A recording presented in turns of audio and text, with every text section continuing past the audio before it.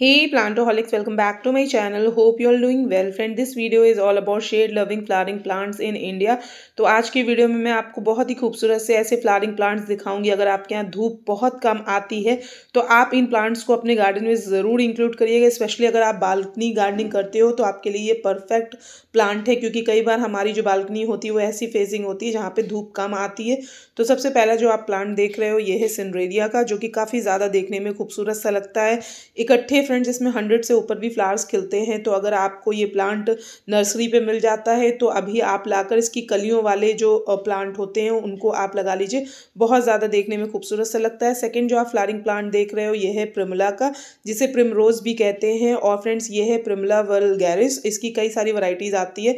जैसे प्रिमला कॉर्निका भी होती है, उसके जो लीव्स का टेक्सचर थोड़ा सा अलग सा होता है, फ़र्क सा होता है, लेकिन फ्लावरिंग इसी तरीके से क्लस्टर में होती है तो काफ़ी ज़्यादा ये प्लांट देखने में खूबसूरत सा लगता है और ये भी कम धूप में बहुत अच्छे से फ्लावरिंग करता है और इसे आपको शेड वाले एरिया में रखना होता है। अगर आपके यहाँ धूप आती है, फिर भी आपको इनको ऐसी जगह पर रखना जहाँ पर इसे कम सी धूप मिले, वहाँ पर इसमें फ्लावरिंग बहुत अच्छे से होगी तो इस प्लांट को भी आप अपने विंटर गार्डन में ज़रूर इंक्लूड करिए या फिर अगर आपके घर में धूप बहुत कम सी आती है तो आप इन्हें ज़रूर लगाइएगा।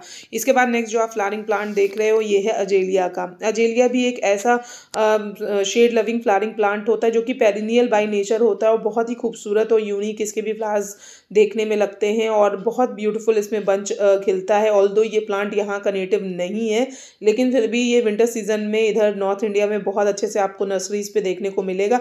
इसकी भी जो सनलाइट रिक्वायरमेंट होती है, वो यही होती है कि इसे शेड काफ़ी ज़्यादा पसंद होता है, थोड़ा सा ठंडा सा इन्वायरमेंट पसंद होता है तो ऐसी जगह पे रखिए जहाँ पे बिल्कुल कम सी धूप मिले और पानी भी फ्रेंड्स ये जितने भी प्लांट्स हैं, उसमें आपको सॉइल चेक करके डालना है, क्योंकि जब शेड रहती है तो फिर आपको पानी भी कम सा डालना होता है, क्योंकि धूप में रखते हैं प्लांट्स तो वो जो मॉइस्चर होता है, वो इवेपोरेट हो जाता है। नेक्स्ट जो आप फ्लारिंग प्लांट देख रहे हो, ये है जरेनियम का।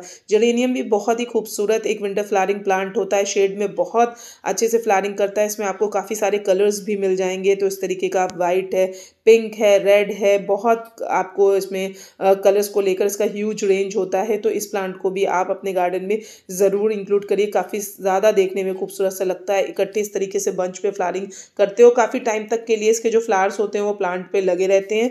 इसके बाद नेक्स्ट जो आप फ्लारिंग प्लांट देख रहे हो, ये है पॉइंसेटिया का। ऑल इसके फ्लावर्स बहुत ही छोटे से होते हैं, बिल्कुल नाम मात्र के ही फ्रेंड्स येलो येलो कलर के छोटे छोटे से फ्लावर्स खिलते हैं, लेकिन इसका फोलिएज इतना ज़्यादा अट्रैक्टिव सा लगता है कि, और इसे लोग बहुत ज़्यादा पसंद भी करते हैं, इसकी कलरफुल लीव्स की वजह से और पेरिनियल बाई नेचर होता है।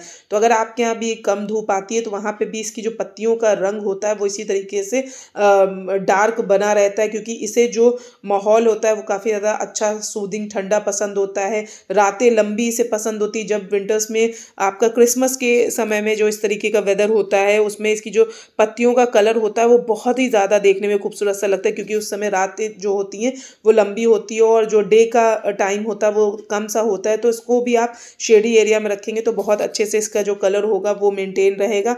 इसके बाद नेक्स्ट जो आप फ्लावरिंग प्लांट देख रहे हो, ये है इम्पेशंस के। इम्पेशंस भी बहुत ही खूबसूरत एक विंटर फ्लावरिंग प्लांट होता है, काफ़ी सारे कलर्स में आपको मिल जाएगा। पानी का बस आपको इसमें भी ध्यान रखना होगा, क्योंकि इसमें अगर बहुत ज़्यादा मॉइस्चर हो गया तो ये प्लांट जो होता है वो रॉट हो जाता है। कलर्स में भी आप देख सकते हो इस तरीके का वाइट है रेड है पिंक है पर्पल है। बहुत सारे कलर्स में ये मिलता है। आप इसे पौध के थ्रू भी लगा सकते हो। नहीं तो अब आपको बेबी प्लांट्स भी नर्सरीज पे मिल जाएँगे तो वो भी आप लगा लीजिए। थाली वाले पॉट्स में लगाएँगे, उसमें भी अच्छा लगता है। हैंगिंग बास्केट में भी अच्छा लगता है। शॉर्ट हाइटेड प्लांट होता है थोड़ा सा इसका शेप भी जो होता है, वो बहुत ही ज़्यादा देखने में खूबसूरत सा लगता है, क्योंकि इकट्ठे कई सारे फ्लावर्स इसमें खिलते हैं। इसके बाद नेक्स्ट जो आप फ्लारिंग प्लांट देख रहे हो, ये है मिमलस जिसे मंकी फ्लावर के भी नाम से जाना जाता है। इसे भी जब ये शेड में रहता है तो बहुत अच्छे से फ्लारिंग करता है। बस यही चीज़ है कि शेड जित, वाले जितने भी प्लांट्स में आज आपको दिखा रही हूँ, उसमें पानी का आपको ध्यान बहुत ज़्यादा ज़रूरी होता है रखना, क्योंकि थोड़ा सा ऊपर नीचे पानी होगा तो ये जो प्लांट्स होंगे वो ख़राब हो सकते हैं, इस चीज़ का आप ध्यान ज़रूर रखिए। और जब भी आप पानी अगर आप कम सा इनके जड़ों में डालते हो तो थोड़ी सी आप मिस्टिंग हल्की हल्की सी कर देंगे तो फोलिएज भी नीट एंड क्लीन रहेगा और बहुत खूबसूरत से ये फ्लावर्स आपको बना के देगा। शॉर्ट हाइटेड प्लांट होता है कॉम्पैक्ट सा लुक होता है तो बहुत ज़्यादा देख देखने में ये अट्रैक्टिव सा लगता है। इसे भी आप ब्रॉड पॉट्स में लगाएँगे तो बहुत ज़्यादा देखने में खूबसूरत सा लगेगा तो इसे भी ज़रूर इंक्लूड करिएगा। इसके बाद नेक्स्ट जो आप फ्लारिंग प्लांट देख रहे हो, ये है कैलेंचो के। कैलेंचो तो शेड में बहुत अच्छे से फ्लारिंग करते हैं तो धूप कम आ रही है तो ये परफेक्ट प्लांट है आपके लिए। और पेरिनियल बाई नेचर होता है तो आप इसे सालों साल अपने यहाँ बचा सकते हो। कटिंग के थ्रू इवन लीफ के थ्रू भी इसका प्रोपोगेशन बहुत ही आसानी से होता है तो इसे आप ज़रूर इंक्लूड करिएगा। कलर्स भी आप देख सकते हो कि काफ़ी सारे कलर्स आपको मिल जाते हैं। तो आप सीज़न बाय सीज़न इसको सेव भी कर सकते हो तो आपके पास कई सारे कलर्स हो जाएँगे। तो इस प्लांट को भी आप अपने गार्डन में ज़रूर इंक्लूड करिएगा।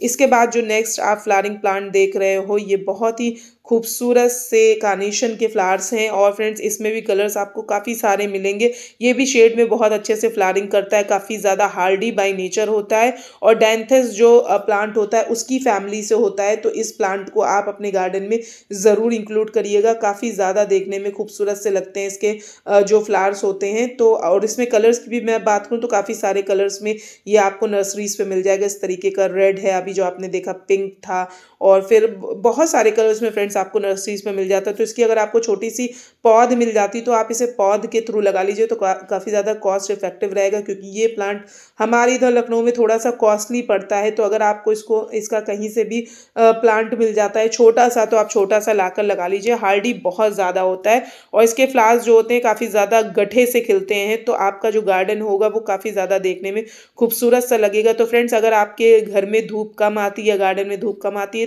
है तो इन शेड लविंग फ्लारिंग प्लांट्स को अपने गार्डन में ज़रूर इंक्लूड करेगा। तो फ्रेंड्स आई होप आप लोगों को मेरा ये आज का वीडियो पसंद आया होगा। और फ्रेंड्स अगर आपको मेरा ये वीडियो पसंद आता है तो प्लीज़ मेरे चैनल को लाइक शेयर और सब्सक्राइब ज़रूर कीजिएगा। और कमेंट सेक्शन में ज़रूर बताइएगा कि इनमें से आपको कौन सा प्लांट सबसे ज़्यादा पसंद आया, या फिर आप इस वीडियो को देखने के बाद कौन से प्लांट को अपने गार्डन में इंक्लूड करने वाले हो। तो फ्रेंड्स वीडियो पसंद आया है तो लाइक शेयर और सब्सक्राइब करना ना भूलें। Hope you like the video thank you so much